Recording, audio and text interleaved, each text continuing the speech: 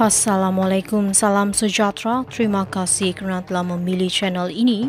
Jangan lupa tekan butang like, komen, subscribe dan share berita-berita yang panas hanya di channel. Muhyiddin mohon pindah kes ke Mahkamah Tinggi.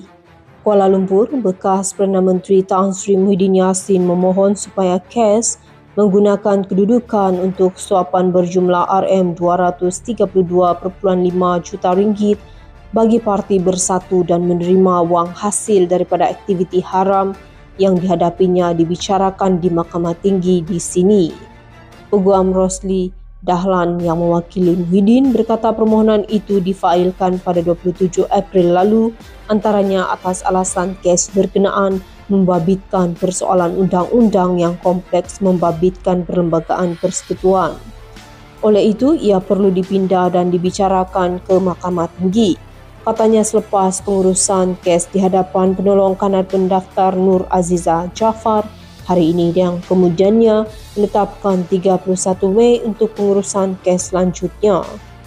Menerusi David sokongannya Muhyiddin 75 berkata Mahkamah Seksyen tidak mempunyai bidang kuasa untuk menentukan atau memutuskan perkara-perkara yang membabitkan perlembagaan persekutuan dan hanya Mahkamah Atasan iaitu Mahkamah Tinggi, Mahkamah Rayuan dan Mahkamah Persekutuan sahaja mempunyai kepakaran untuk memutuskan perkara sedemikian.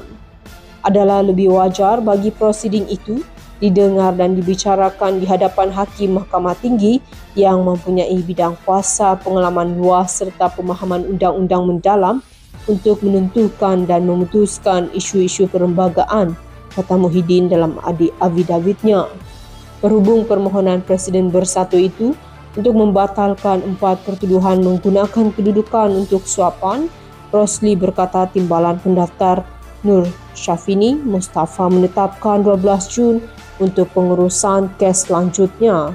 Pada 18 April lalu,